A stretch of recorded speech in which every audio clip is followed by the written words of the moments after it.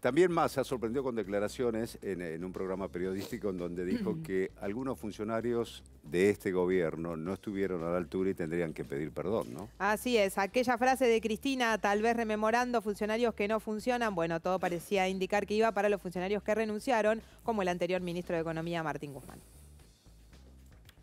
Agosto fue el peor mes, te diría, de los últimos 25 años de la economía argentina.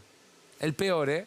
¿Que se va a notar en la inflación, en el número El de inflación? Se va a notar en el número de inflación, pero en el número, el número es 15 días después, ya lo vivió la gente. Mm. A partir de ahí tomamos todas las medidas que anunciamos el domingo compensatorias. Vamos a seguir tomando medidas, pero además empezamos a marcar el camino de lo que viene, porque también hay cosas, y lo tenemos que decir aunque estemos en la televisión pública y aunque tengamos simpatía por el gobierno, también hay cosas en las que el gobierno está en deuda y tiene que pedir perdón, porque hubo, digamos, gente que a lo mejor tuvo la oportunidad y no estuvo a la altura, y entonces, por ejemplo, en los momentos que pudimos acumular reservas no las acumulamos, ¿no? Digo, y esas cosas después las pagás. No dio nombres tampoco de los funcionarios que no, No. que no funcionan concretamente. Bueno, mil